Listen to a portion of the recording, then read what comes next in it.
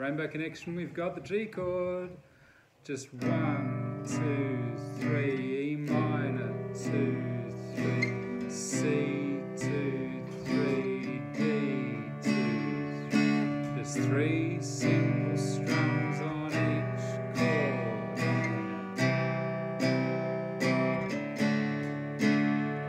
Six strings on the G chord, six strings strum